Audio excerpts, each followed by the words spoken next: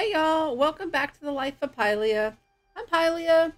Today we're doing February 1st, the day I'm recording this, so we're doing Black History. And there's a couple of these that I've seen that I want to check out. Today we're at the Ma- Meroe Museum. It says Home of Black Culture in Second Life. So I kind of want to, I'm just going to wander around and check it out like I normally would, right? So with that, let's go ahead and get started.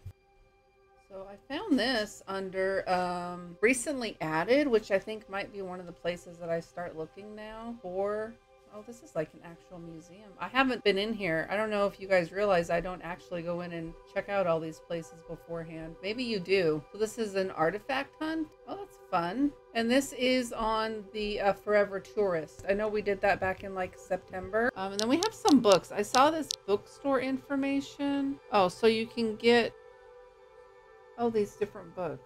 That's really cool. Nice. I like to read. Assata Shakur autobiography, Black Skin, White Mask. So that's really cool. Oh, and then these are chairs. So if you wanted to come and read, you could do that. If the books are 500 lindens each, I don't know. I mean, of course, that's going to be cheaper than if you were to have purchased them in like a bookstore, right? Um, this is a map course for about 1665 showing all of Africa being called Ethiopia and the Atlantic Ocean was the Ethiopian Ocean. I don't own the original. It was uh, $2,250 15 years ago. I wish I could get this TV to play, but that's probably just a, a Black Dragon thing. Let's see if we can go. I'd like to go to this one.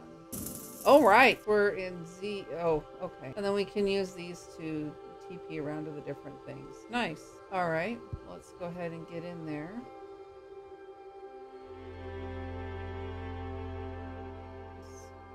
I really like textiles. I don't know why exactly. I mean, like I crochet, but I really enjoy textile stuff, especially like when you think about it from the perspective of say you're making something with like a wool yarn. You may have raised the sheep you may have sheared the sheep you may have colored dyed the yarn and then spun well i guess you spin the yarn then you dye the yarn don't you? Spin the fiber. Anyway like you're completely involved in the process. And these things i don't think they would have been crocheted they probably would have been woven or maybe block dyed. I don't know how Clint, how kente cloth is done. But i mean if traditionally these things took lots of time and they had meaning to it. It's not just oh that was a pretty design. They had meaning to it and i just i think that's beautiful.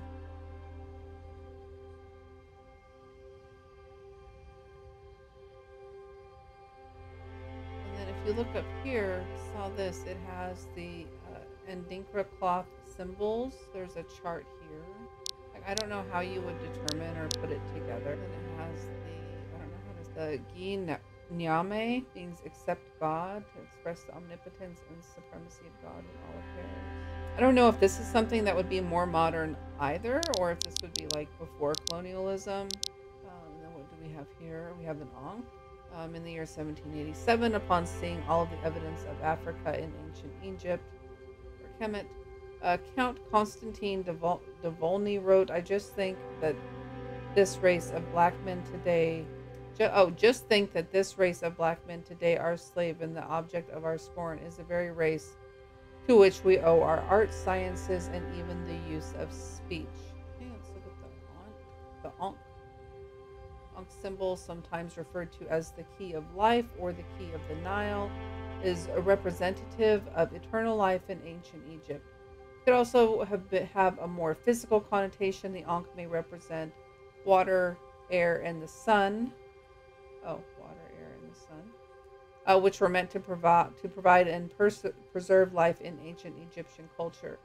This particular Ankh is decorated with the judgment of Ma'at. Ma'at was a critical figure in Kemet and Nubia.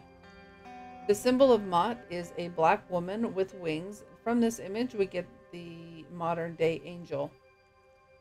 The black woman, her angelic face, and universal wisdom. This is where the phrase, a woman is a measure of a man, because Ma'at would measure your or weigh your good deeds against your bad and judge your soul.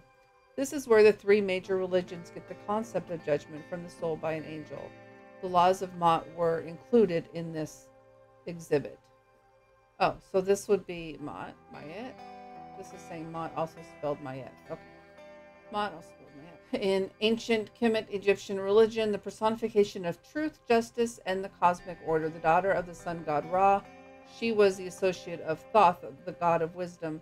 Mot stood, oh, she was associated with Thoth, the god of wisdom. Mot stood at the head of the sun god's bar- bark as it traveled through the sky and the underworld.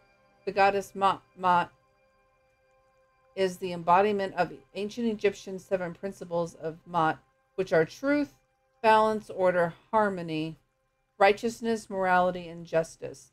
The ancient Egyptians believed the universe had an order to it, and it was Mot who kept everything in balance. This helped the ancient Egyptians develop a strong sense of morality and justice.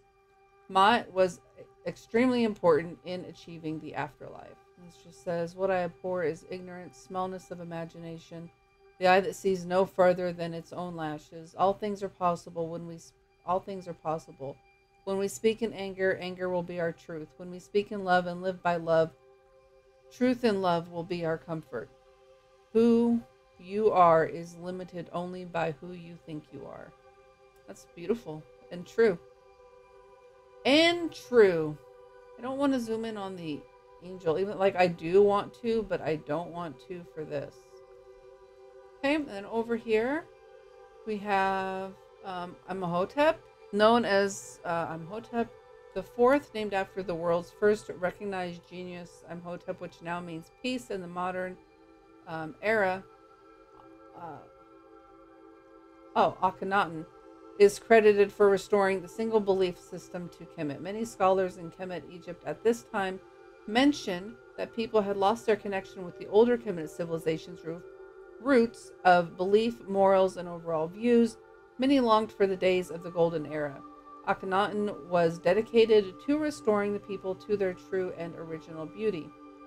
Later in life, the pharaoh Tut would attempt to discredit Akhenaten's efforts.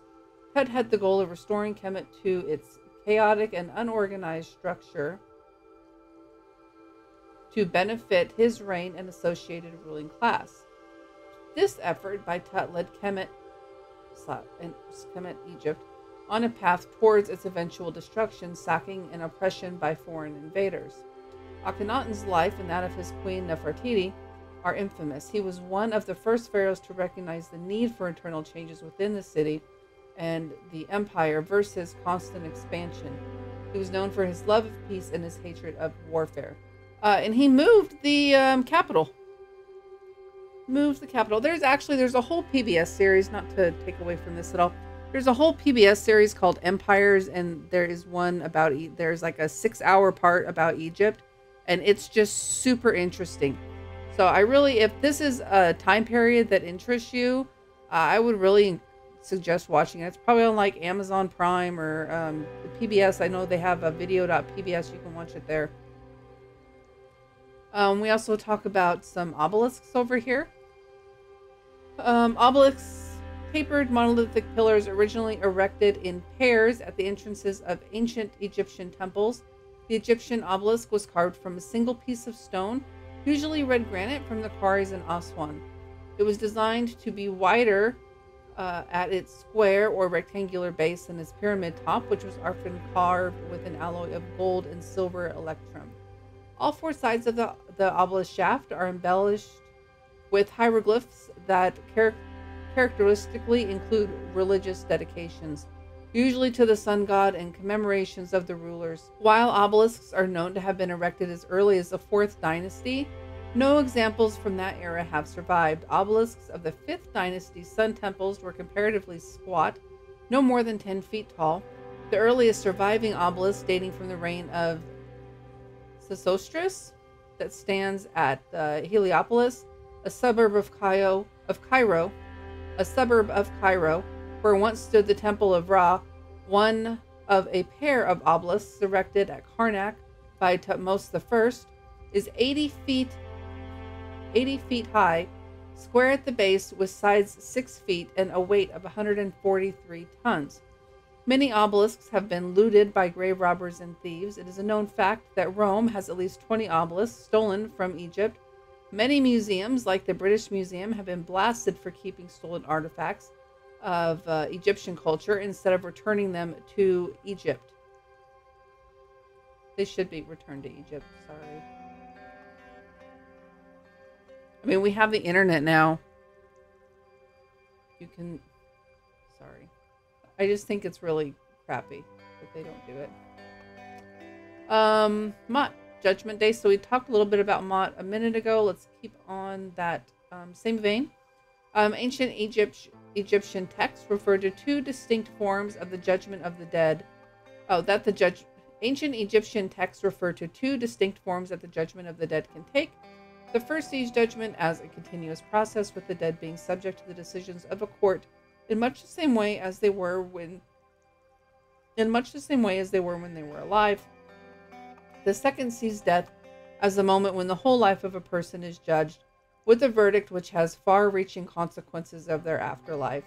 Those found to be pure are declared to be an Ankh, Ak, or transfigured spirit, who is Mat Haru, true of voice, while those found wanting face, the feared second death, they might be fed to the terrifying demon Ammit or thrown in the lake of fire. Hmm, that's interesting. Well, let's see what this was.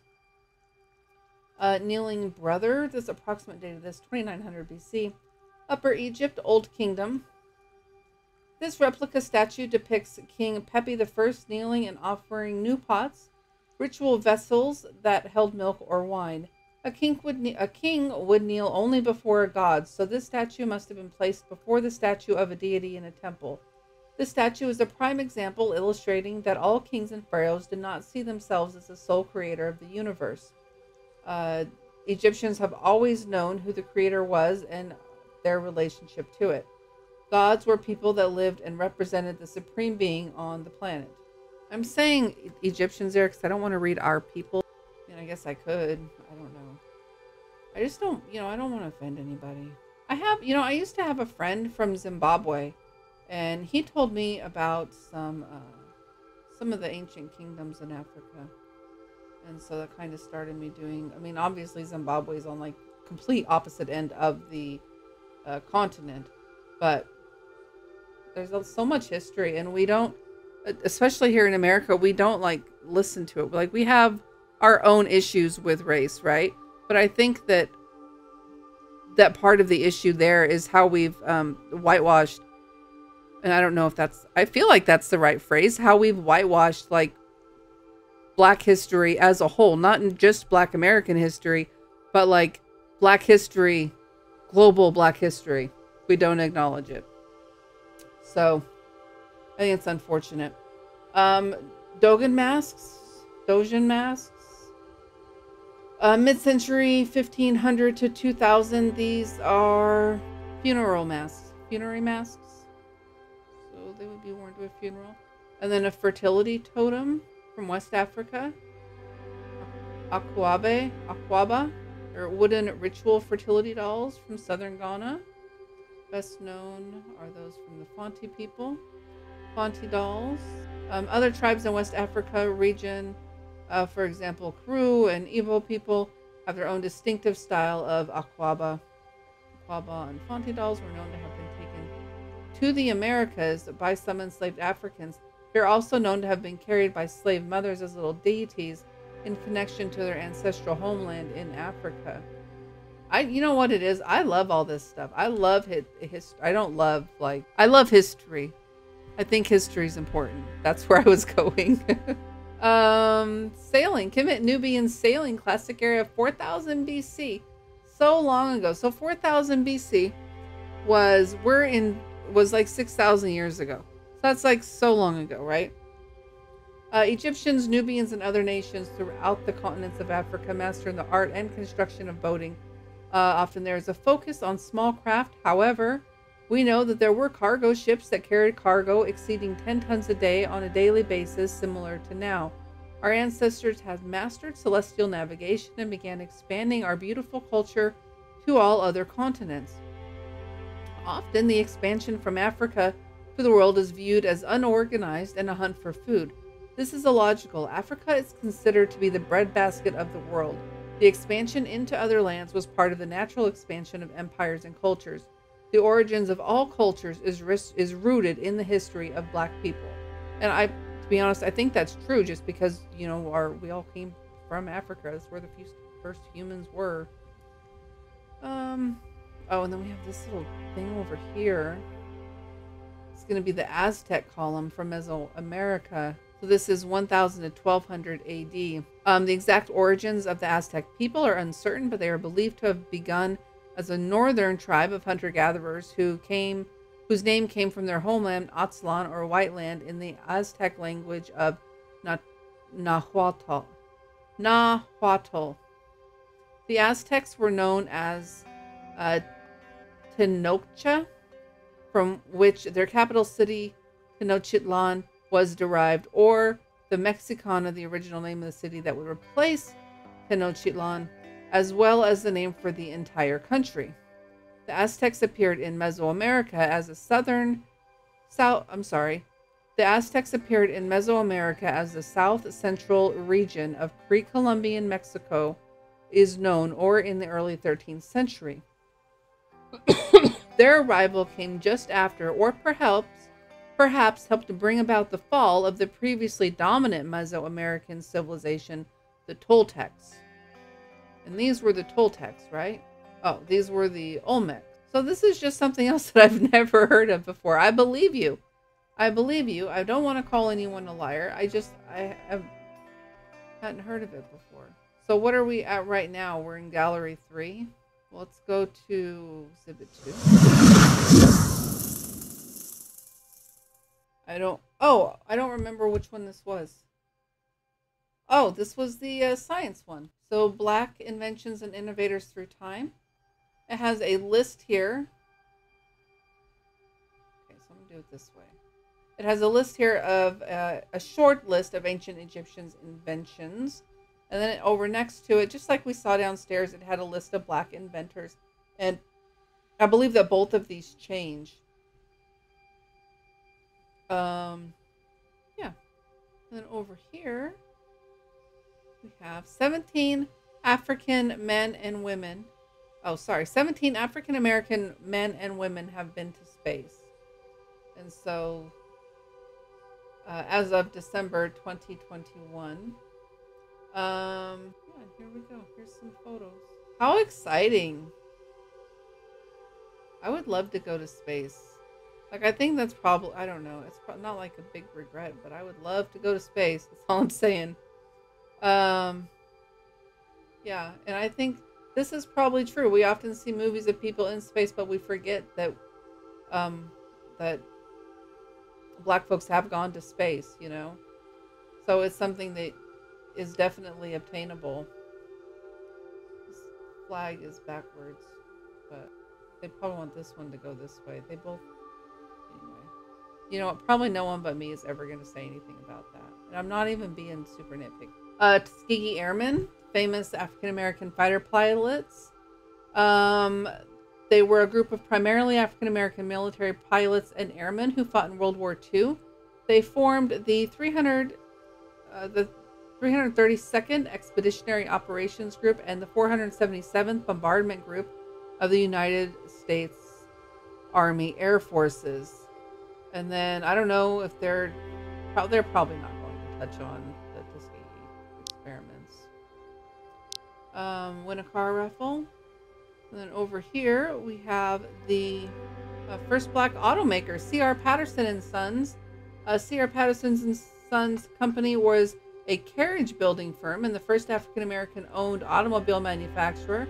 This company was founded by Charles Richardson Patterson, who was born into slavery on April in April 1833 a, on a plantation in Virginia. This exhibit was designed and created by Second Life resident and African American Second Life Metaverse automaker uh, Fly P. Toretto. And here we go. There's some photos here. Have y'all ever gone to? I think it's like I don't know if it's like the uh, Library of Congress or what, but they have uh, audio. They've digitalized audio recordings of former enslaved persons um, who were like former enslaved Americans who obviously were enslaved in before the Civil War, but like interviews with them and talking about their lives and stuff like that. If you've never listened to them, you should check them out. I, I don't know. I think they were very interesting. Okay, so this was two. We want to go ahead and go up to one.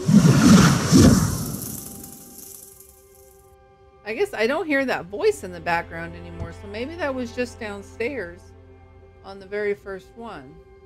So this is going to be more um, science and um, Africa and how Africa is changing.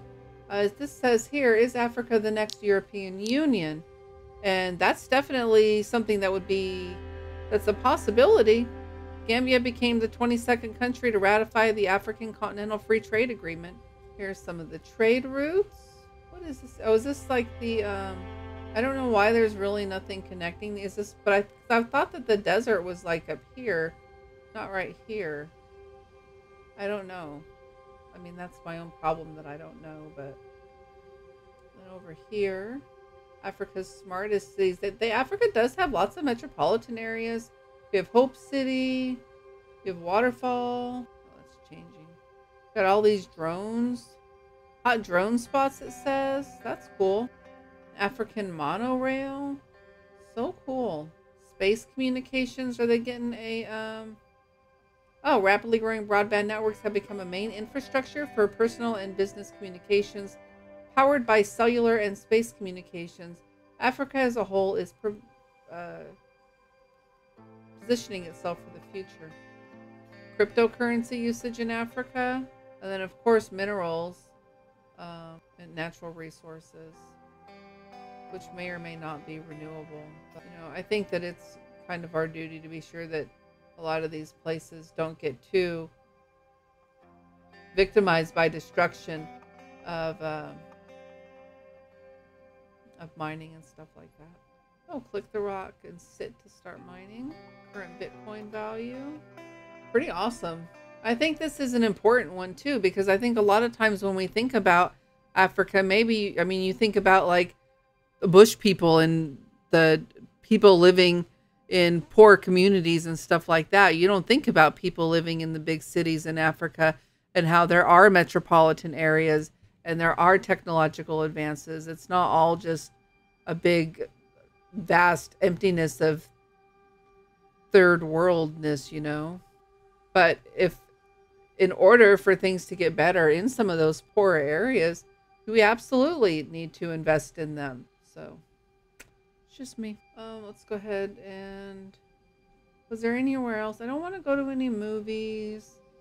We're doing that. Well, this was really interesting. I thought they had lots of great stuff and lots lots of information.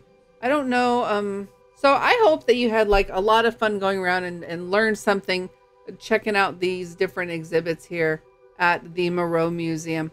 I had a lot of fun. I learned stuff and I really enjoy doing these types of Let's Explore videos. So um, I hope that you enjoyed it too.